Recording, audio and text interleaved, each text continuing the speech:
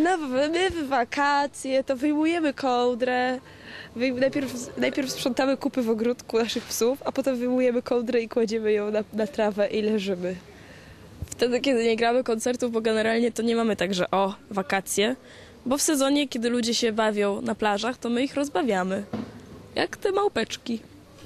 Także my mamy wakacje dopiero po sezonie, czyli w jakimś listopado-grudniu.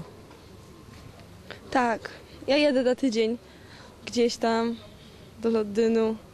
Nałażę się, schodzę się, smorduję się. Słabe wakacje. Straszne.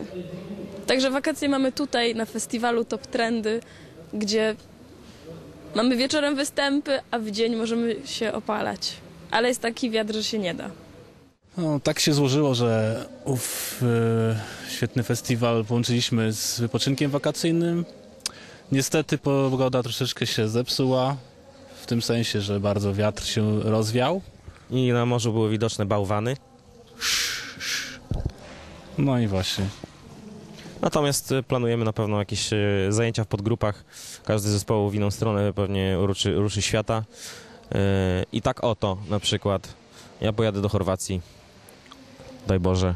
Ja myślę, We wrześniu. Myślę, że zostanę tutaj w Polsce i nad jeziorkiem jakoś sobie gdzieś tam pobędę.